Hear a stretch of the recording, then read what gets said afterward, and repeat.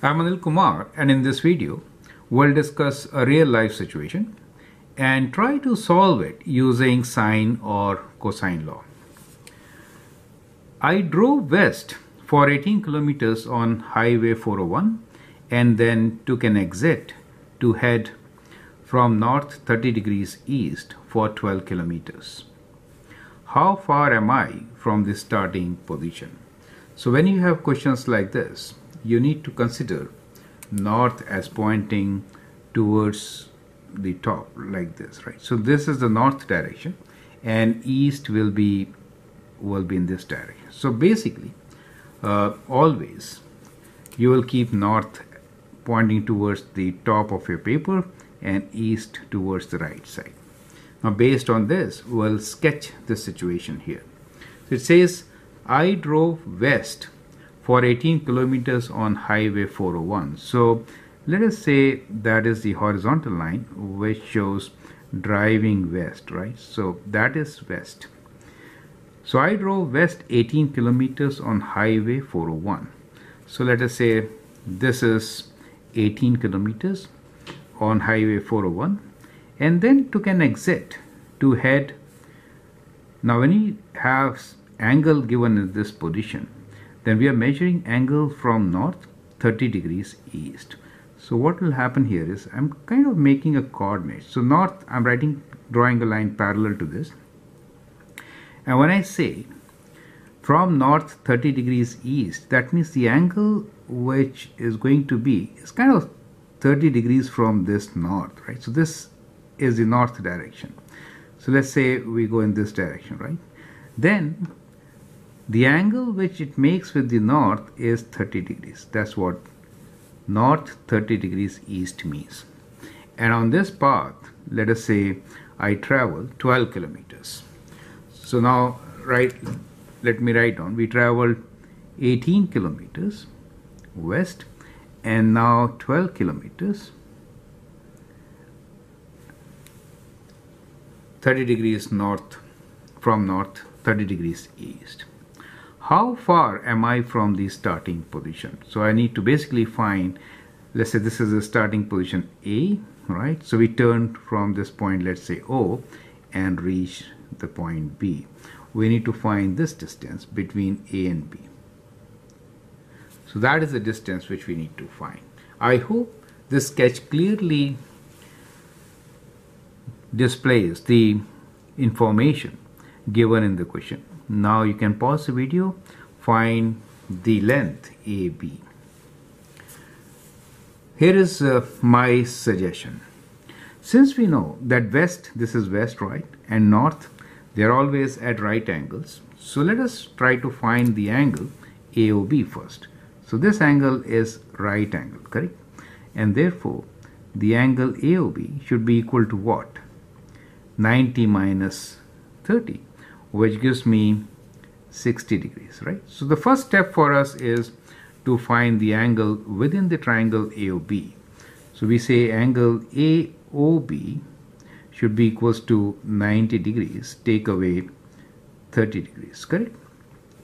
So that is 60 degrees. So now we have a triangle AOB. So if we solve this triangle, we can find AB.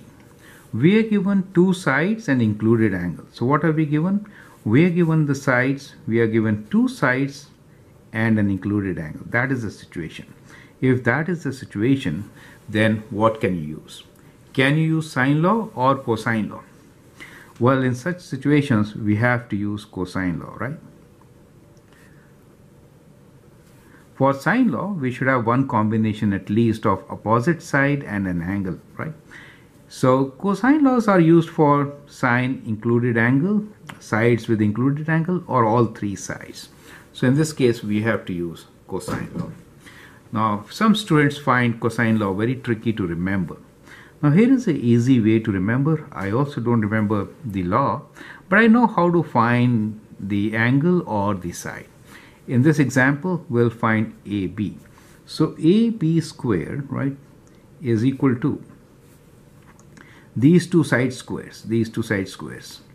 So normally it is related with kind of Pythagorean theorem. So if you draw a perpendicular here, you know a square plus b square is c square.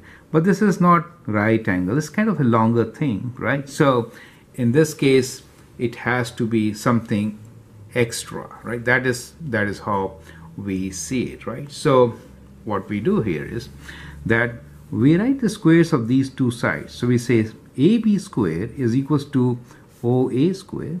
That is how to remember the formula. This the two sides given plus OB square minus 2 times OA this side times OB times since it is called cosine law cos of included angle which in our case is 60 degrees correct so that gives you the formula I think the formula is very clear now cos of 60 degrees some of you can also calculate using calculator the others can use uh, special triangles correct so let me make one special triangle however I'll use calculator to do the calculations uh, but sometimes calculator may not be allowed. That's the whole idea, right? So if calculator is not allowed uh, for you, in that case, we'll make a special triangle. 60, 30, 90, right? That is my special triangle. These sides are 2, 1 and square root of 3. Cos of 60 is half, right? Do you see this? 1 over 2. Okay. So now let's substitute the values and find AB square.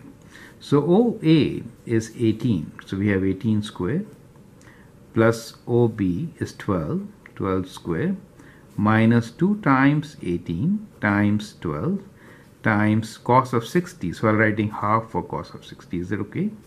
And now we can use calculator to find the answer.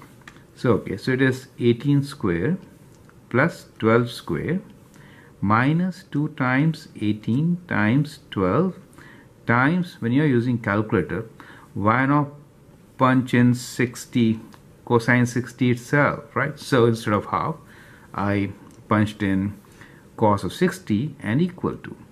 So whatever you get is the distance square right? 252 is distance square. So what is AB it has to be square root of 252 correct? So we do square root of our answer which is equal to 6 square root 7 and in decimals we could write this as equals to 15.87 right units will be units of the other sides which is kilometers. Now at times you are you may be given that round your answer to two decimal place or one decimal place okay? So if the answer is to be rounded to tenths then we could write this as 15.9 kilometers right? So this is round to tenths right? So okay let me write like this okay tenths so that is how you could solve a question. Now important things which you have learned here is to understand how to sketch the diagram representing the situation then figure out whether to use sine law or cosine law and then apply the law use calculator to calculate the answer and don't forget to round your answer to the required number of digits right? If nothing is given to you then in such case I should have actually round to a whole number right? So let me write this as 16 kilometers that is better right? So if nothing is given right? If rounding is not specified is not specified. The reason is uh, since all other values are given as whole numbers we'll keep the answer also in whole numbers correct? So that is the reason for us to keep this answer as a whole number which is rounding to whole number 16 kilometers will be our answer in this particular case.